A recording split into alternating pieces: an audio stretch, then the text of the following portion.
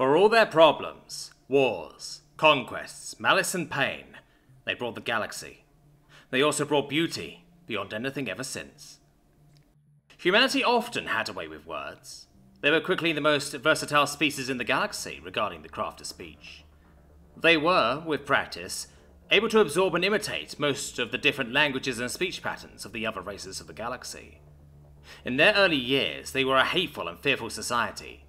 They had not expected the universe to be as densely populated as it was, and it didn't take many bad encounters for them to reveal their proficiency at war. Within the first three centuries of the birth of their interstellar lives, they had been conquered twice over by rivaling empires, where their solar system had been nothing but a part of the other's proclaimed domain. It surprised much of the galactic scene when, at the end of their third century, they had not only adapted the technologies of both societies, but managed to improve upon them in rapid succession. In their fourth and fifth century, they beat back the Rakari Empire, causing mass genocide as they waded through the worlds of their old occupiers. The horrors unleashed left a scarring mark on humanity for decades, turning the tide of their galactic evolution. From their acts of war, which some still argue were within their galactic rights, humanity did not so easily forgive themselves or their predecessors.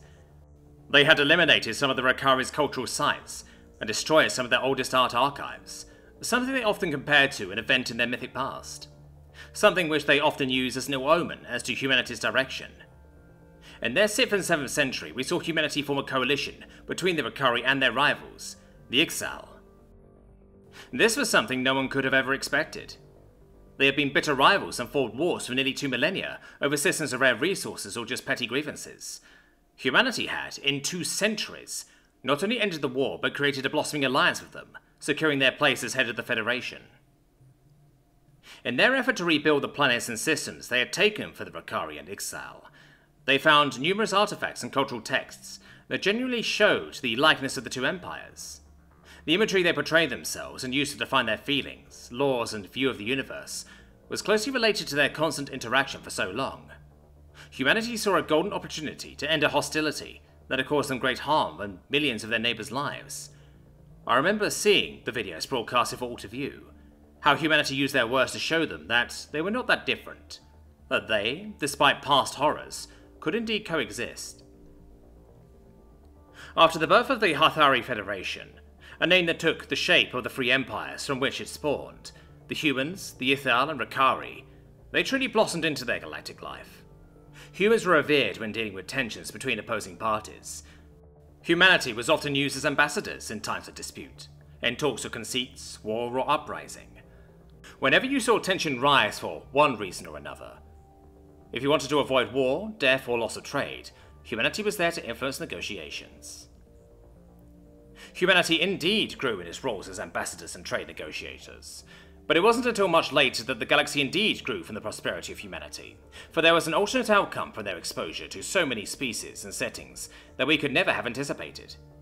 In their 8th to 10th century, we saw massive works of art being flooded from the small parts of humanity that had lived in other worlds as minorities. They had a way of captivating the local arts and bringing their takes on it, and they were beloved for how well they could assimilate into other cultures and help them grow. We saw the inspired works that depicted the worker drones' lives in the asteroid belts of the duo consciousness, what the rebirth of a Zaalu was supposed to feel like through neural links that conveyed it to visible colours unique to each species, and how the Krombar toiled in their pre-cocoon life as a serenade in their language, which inspired the young of the warrior empire to pursue arts. Humanity set about their most extraordinary project ever, the creation of the Heart. It was to be a mega art installation that would surround an unused red dwarf and live directly off its energy, with capacity to grow on its own, housed by their most highly developed AI to collect works of art from every corner of our galaxy. To regularly create exhibitions that follow the artistic trends of worlds, civilizations, and races, while portraying the evolution of their style and show how their intricate messaging correlates to others. It wasn't until the 15th century that we started to see the diminishing of humanity. For 500 years, humanity had inspired us to become more than we were. We had transformed plants, atmospheres and planets for art and beauty. Humanity had opened a box which never truly closed again. Humanity had brought with their quick rise on the galactic scene beauty and recognition between the races of the galaxy that had never existed before.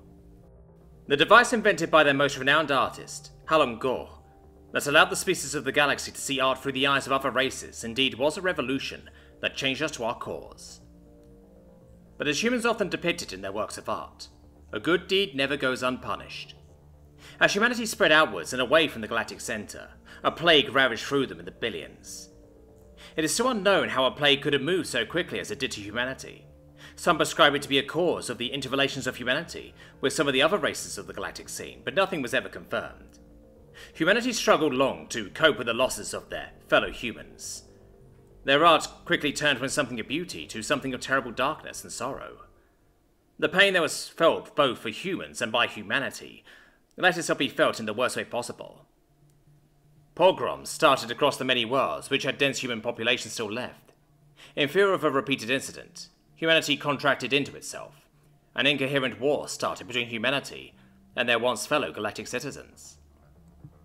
In the following four centuries, humanity was swept back and forth between wars, famine, and isolation. It wasn't until their 20th century that humanity had been reduced to a single world, located not far from the planet of origin. Their pain and that of every other society that has seen the rise and fall of humanity was broadly expressed and immortalized in their arts. In their confinement, humanity vowed never to regress as they once had, that they would transcend fear and once again be who they were meant to be, an agent of the good and righteous of the galaxy and so they tinkered away. They sought to perfect their arts, and studied the histories and expressions that the many races that had evolved and created, as the aftermath of humanity's expression had transformed them. How races would learn to speak the languages of other races if physically possible, rather than using their translators as a sign of courtesy and respect. And as humanity embarked on what they called a journey into their hearts, we watched and wept as humanity, one by one, left their physical form, became one with their heart, and uploaded their individuality, their consciousness, their self into the massive databanks that were the art installation. And we wept as the last human died, as they left our physical plane to live among the enormous amounts of history and data that the ever expanding heart was collecting, reminding us that humanity was never gone, but immortalized in their quest for beauty and peace. Whenever disputes were held, the heart is where we turned to. Whenever wars were on the verge of happening, the heart is where we solved our matters. Whenever we as individuals lost our meaning, the heart is where we found ourselves. Thus began humanity's true legacy, and the words of wisdom that might never die. When in doubt, look into your heart.